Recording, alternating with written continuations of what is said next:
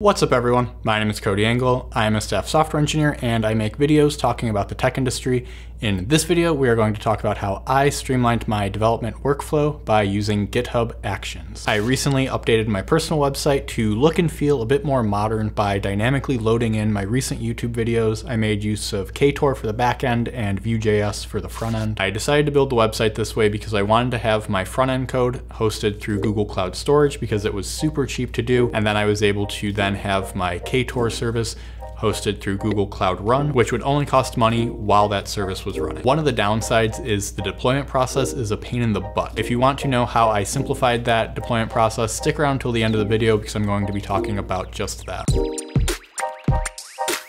First, I have to open the project's README file. Then I'd navigate down to the building the project section and follow the steps for building the Ktor application. Then I'd need to Dockerize the application. After that, I'd send it to Google Cloud Build so that I could also Dockerize and tag the application. From there, I'd log into the Google Cloud Console and navigate to Google Cloud Run and manually deploy the new container by replacing the old one with the new one. After that, I realized that I had forgotten to document how to deploy the front-end code. I would kind of debate whether or not I want to just delete this entire project, but I would continue on anyway because I'm a tech influencer now, so I just, I have to do that. So then it was off to Google so I could search how to deploy the static assets to Google Cloud Storage, where I would first run the incorrect command. After realizing that was incorrect, I'd use the correct command, and about 45 minutes later, my website would be fully deployed. And of course, because the deployment process took so much time and energy, after I figured out how to deploy the front end again, I would promptly not document it because I was already exhausted, so I was ready to be done with the project. So if you can't tell already, I'm a little tired of deploying my website manually. It takes a lot of steps, there's a lot of room for error, and so this is where automation comes in handy. As software engineers, there are thankfully a lot of tools at our disposal to do automated deployments. I have personally had the opportunity to use things like Jenkins, GitLab CI, Circle CI, Travis CI, and thanks to this project, I now can say that I've used GitHub Actions as well. When it comes to automating software releases, there are two things that you want to keep in mind. The first thing is you want to make sure that you build in quality gates to ensure that whatever you are releasing meets the standards that you want to have in place. So for myself, for engel.dev, I have a couple different quality gates. One of them is a static code analysis tool, which is called Detekt. It allows me to validate that the Kotlin code that I am writing adheres to a very strict standard.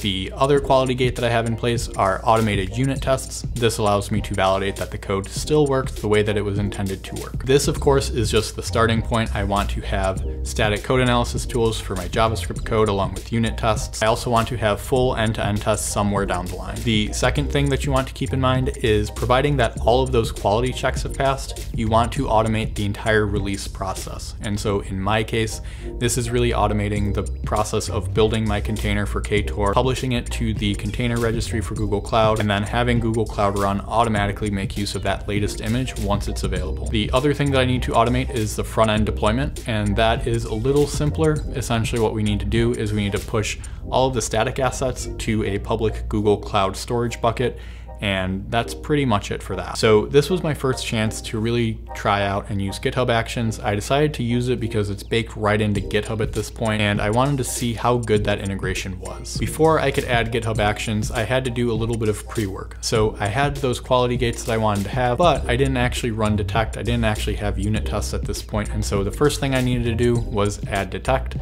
It is pretty simple to add, pretty straightforward. I also took this opportunity to write some unit tests. It's not fully test covered. I'm human. Writing unit tests after the fact is super boring, and so I wrote as many as I could stomach, but it's maybe 25% covered. I also didn't add any quality gates for my JavaScript code.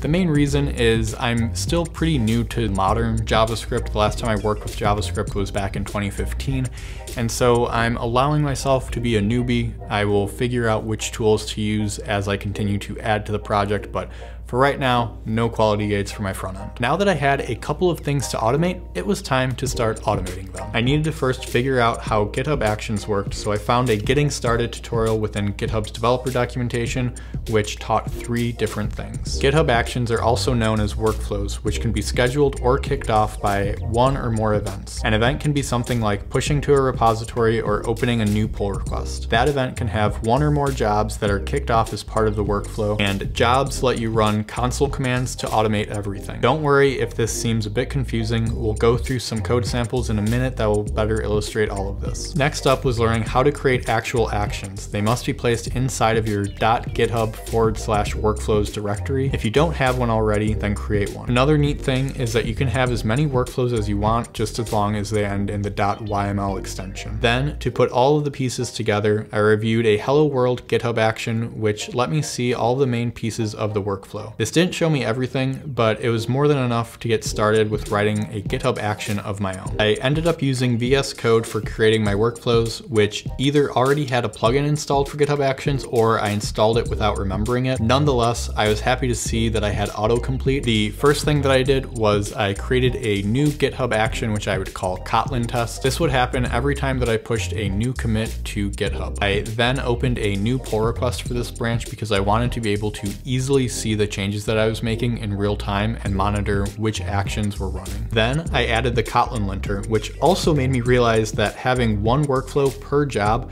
wasn't going to work out too well. I tried to find examples of one workflow kicking off another one, and while it seemed possible, it also felt overly complicated for what I wanted to do. So at this point, I consolidated both jobs into a single workflow, which I'd named CI CD. Then I added Google Cloud to my configuration. The first related job was to simply connect to my project and print out some basic info. This let me validate that the secrets on the repository were set up correctly. As luck would have it, they were. I also added a needs statement to this job's configuration. This instructed the workflow to only let that job run if the quality gates came back green. With that working, it was time to add a job for deploying the front end code to Google Cloud Storage. The worst part was Googling how to deploy static assets to Google Cloud Storage because I didn't write that step down when I learned how to do it. Quick random tangent, anytime that you learn something new that's vital to your project's deployment process, just write it down in your README file. Trust me, you will thank yourself for that later. At this point, I had the front end code being deployed and the API was being containerized. So the final thing I needed to do was tell Google Cloud Run to deploy the new version of the API. I had always done this step through the UI, so finding the right command took a little bit of Googling, but similar to deploying the static assets, I had it working in about 20 minutes. So all of the pieces were put together, but we had a bit of a problem. Whenever I pushed a new change, the quality checks would run, and providing that they passed, I would then deploy my website. This would happen regardless of what branch I was currently on. This really wasn't what I wanted. What I really wanted to do was I only wanted to deploy changes if it was being built off of the main branch. And so with some help from Stack Overflow, I learned that GitHub Actions support having if statements. And I could add an if check to validate what branch it was currently on and if it wasn't on that branch, it just wouldn't run the job that was below it. Along with that needs clause, I added that if statement so that it would only deploy changes when I was on the main branch. At this point, I was done with the workflow, so I merged the pull request into main. I saw that the job ran and my website was deployed without an issue. I went ahead and made the repository public. A link to it will be in the description if you wanted to check it out. This is where I also noticed that the README wasn't rendering some of my setup instructions correctly as the angle brackets I used to signal that you should replace this value with your actual YouTube API key were being treated as HTML tags, so they weren't being displayed. So I only wanted to update my README file, and doing that shouldn't cause an entire new website deployment. I was thankfully able to find a quick fix for this. GitHub Actions support any sort of standardized CI tags. And so I was able to add a skip CI tag to my commit message and then GitHub just didn't run anything at all. It was kind of nice. This still presented a bit of an issue though, because there are times where I will only update my front end code or I will only update my backend code. For example, if I'm only updating my front end code, I have no reason to do a full deployment of my API code. I can skip that entirely and I really should because it's just wasteful. The solution I found for this was adding another condition to the event trigger.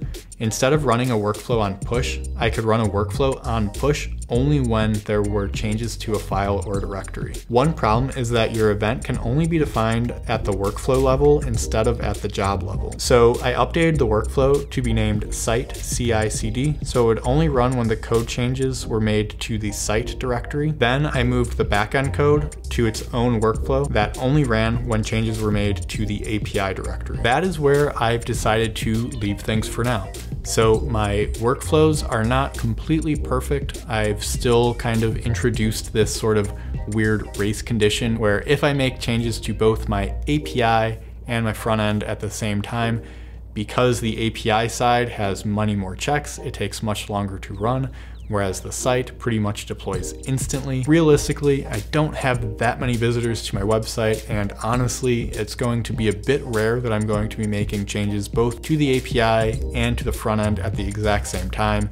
I can also deprecate things and kind of leave existing functionality around for one or two releases. Overall, I have to say that I was impressed with GitHub Actions. If I was in the business of handing out reviews, I would probably give this like an 8 out of 10. The main issue that I ran into was not being able to have a single workflow that would then allow me to only run jobs when things changed on certain paths. I think that would be really nice to have. I think there was a workaround, but it required a lot of copying and pasting code and I, I didn't really want to deal with that. If you enjoyed this video, please consider subscribing and clicking the notification bell. That way you'll be notified anytime I upload another video like this one. Also, in the description section, I will leave a link to my pull request where I added GitHub Actions this will allow you to see my exact thought process, all of the trial and error that I went through. We also have a growing Discord community.